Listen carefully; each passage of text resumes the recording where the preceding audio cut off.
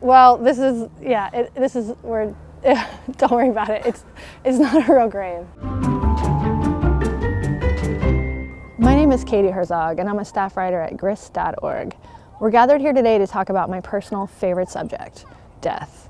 There are a lot of ways to die in the world. It's ALS, MS, IBS, scurvy, stroke, heart attack, being bit by a monkey, being hit by a car, constipation, being hit by a baseball, being crushed by a tree, house fire, car fire, boat fire, drowning, electrocution, choking on a corn dog.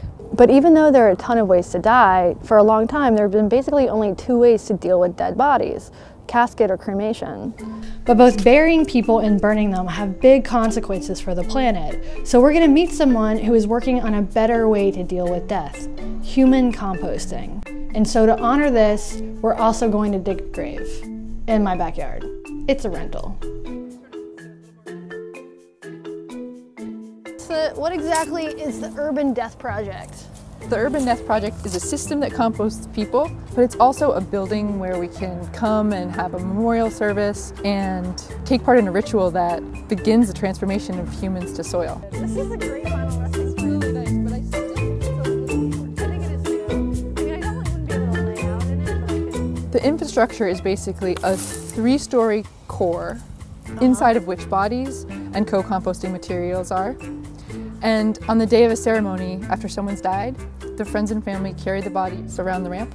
We'll lay the body into the core and cover that body with wood chips. And then over the next four to six weeks, we're estimating, the body decomposes. After a second stage of screening and sorting and a curing of the compost, you have what's like, kind of like this created. Hmm, right. So it's like the most natural thing you could possibly imagine. right, I do it in my kitchen. You do it in your kitchen, except it's probably a little gross in your kitchen with, Yeah. you know, I coffee don't grounds. do it. actually don't. People love to say, like, what about the ick factor? That's so gross. I think what's much, much grosser is draining bodily fluid and pumping a body full of formaldehyde laden embalming fluid. yeah.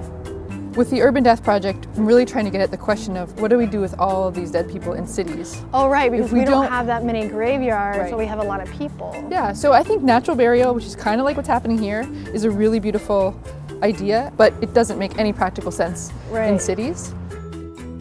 If Katrina Spade gets her way, human composting will someday be as normal as burial or cremation. Maybe, eventually, it could replace them both. This may sound odd now, but is draining the body and filling it with formaldehyde really any less bizarre? I don't know. We accept burial and cremation because they're what we know. But maybe human composting is the greater option. It's cheaper, more ecological, and it keeps the cycle going.